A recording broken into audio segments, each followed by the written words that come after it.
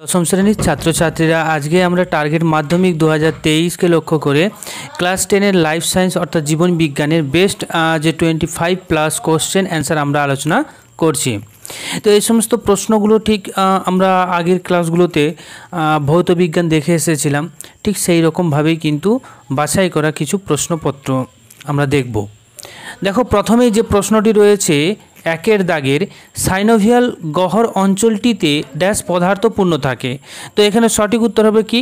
Synovial গহর অঞ্চলটিতে synovial তরল পদার্থপূর্ণ অবস্থায় থাকে।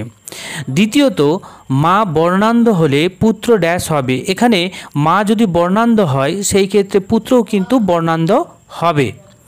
তিনের দিকের প্রশ্ন, ডিএনএ প্রতিলিপিকরণ সম্পন্ন হয় কোষচক্রের ড্যাশ দশায়। অর্থাৎ এখানে শূন্যস্থানে কি হবে? এস দশা। উত্তরটি হবে এস দশায়। অর্থাৎ আমরা উত্তরটি এভাবে লিখব যে ডিএনএ প্রতিলিপিকরণ সম্পন্ন হয় কোষচক্রের এস দশায়।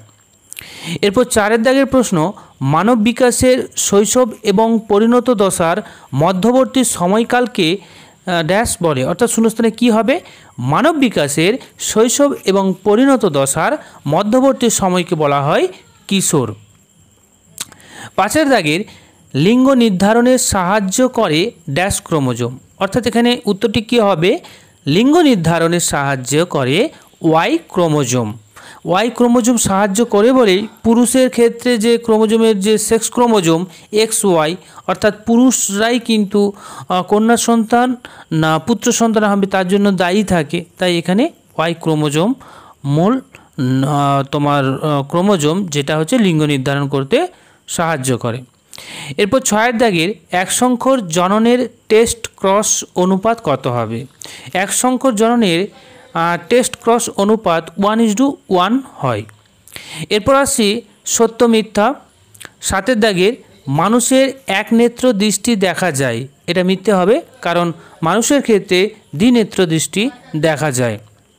চার আচ্ছা বলে দিই যে একনেত্র কাদের ক্ষেত্রে দেখা যায়? দেখো, মুরগি মুরগির ক্ষেত্রে বা তোমার গরুর ক্ষেত্রে একনেত্র দৃষ্টি দেখা যায়, ঠিক আছে? ওরা আলাদা আলাদা চোখে আলাদা আলাদা কিন্তু দেখতে পায়। দুই পাশে আলাদা আলাদা প্রতিবিম্ব গঠন হতে পারে।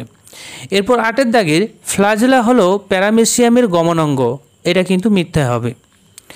এরপর নয়ের দাগের অ্যামাইটোসিস ব্যাম তন্ত্র গঠিত হয়, এটাও মিথ্যে হবে। দশ গর্ভযন্ত্র ডিম্বাণু ও সহকারী কোষ নিয়ে গঠিত, এটা কিন্তু মিথ্যে হবে। এগারো, আধুনিক জিনতত্ত্বের জনক হলেন মেন্ডেলা। এখানে এটি সত্য হবে।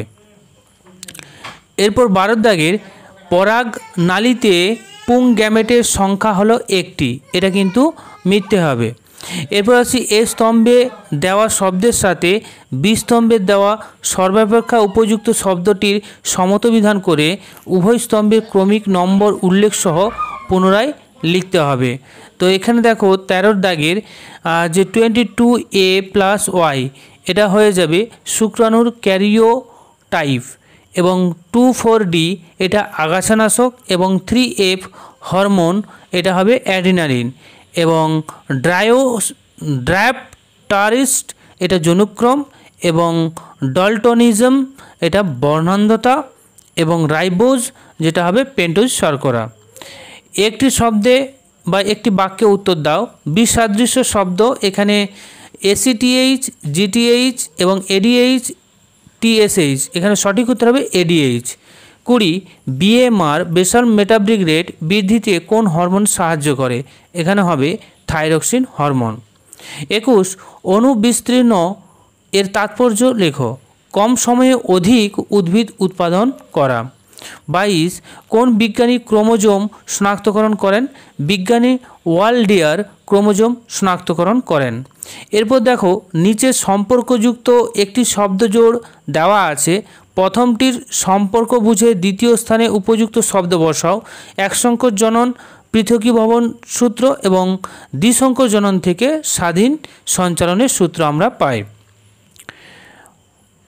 এবারে বিটা থ্যালাসেমিয়ার কারণ কি? এগারো নম্বর অটোজোম এর ত্রুটির জন্য বিটা থ্যালাসেমিয়া হয়।